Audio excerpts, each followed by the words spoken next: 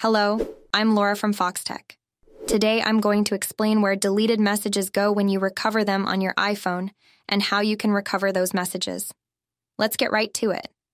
When you recover deleted messages on your iPhone, they return to the Messages app in the exact conversation where they were originally. They are restored to their proper chronological position within the chat, so you don't have to search for them separately. The messages just reappear in the existing thread as if they were never deleted, making them easy to find. Now, let's go over how you can recover these messages. One of the easiest ways to retrieve deleted messages is by using iCloud. If you have iCloud enabled for messages, you can simply download your messages back to your device from iCloud. Just make sure you have Message Sync turned on in your iCloud settings. Another option is to restore your iPhone from a backup. This method involves erasing your iPhone and restoring it from a recent iCloud or computer backup.